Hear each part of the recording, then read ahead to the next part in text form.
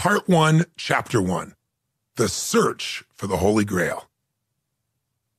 Over the last 10 years, I've had the privilege of authoring two number one New York Times bestsellers on the topic of personal finance Money Master the Game and Unshakable. They succeeded not because I'm the greatest expert in the field, but because I have one important thing access.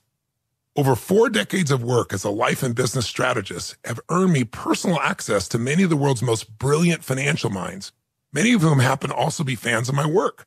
From Alan Greenspan to Ray Dalio to the late Jack Bogle to Paul Tudor Jones and countless others, I've had the pleasure of sitting down with these titans of investing to extract the tools, the tactics, and the mindset that anyone at any stage of life can and should apply in their quest for financial freedom. Their generosity of time and principles helped me form a trio of financial playbooks, and I really encourage you to read the others if you haven't done that already. Now, I began my deep dive into money mastery after the 2008 financial crisis when the world's economy was on the brink of collapse due to the reckless behavior and greed of a relative few. Nobody escaped the economic pain, myself included. My phone was ringing off the hook as I tried to coach friends and family through job losses, home losses, obliterated retirement plans. And all my clients were affected, from the barbers to the billionaires. The storm tore through everyone's life with varying degrees of devastation.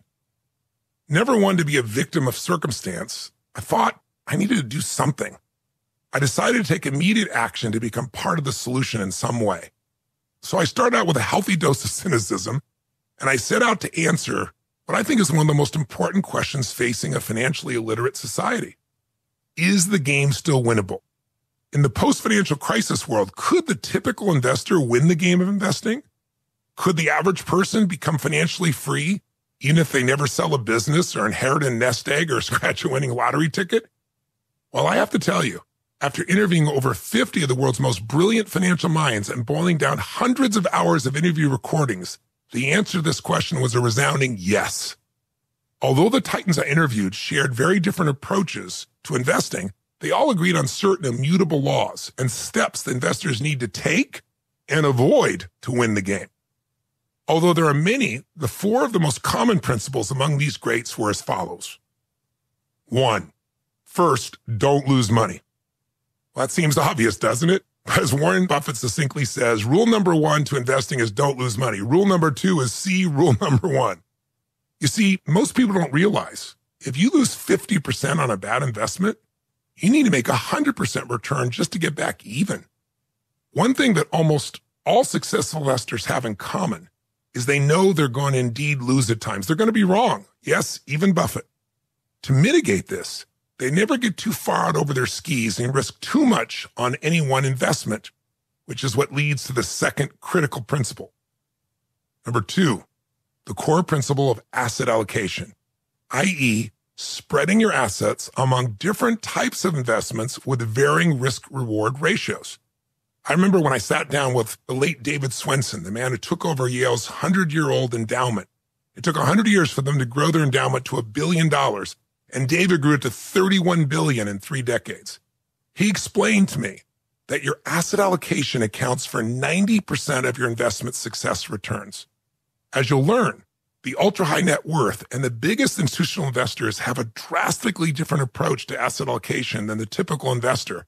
And that's one of the great benefits you're going to get from this book, as I'll show you exactly what they do. Third, Wherever possible, you have to look for opportunities what's called asymmetric risk reward. Big word. Simply put, these investors look for investments where the potential reward far exceeds the downside risk. For example, my good friend, one of the greatest investors of all time, Paul Tudor Jones, tries to only place trades when he believes he has a risk reward ratio of five to one. What does that mean? He'll risk a dollar if he believes he can make five off of it. This way he can be wrong more times than right and still succeed. Principle four, fourth and final is the principle of diversification. That's certainly not new, but you want to own a wide variety of investment types, from stocks to bonds to real estate to private equity, private credit, etc., across various asset classes, across different geographies, across different time frames.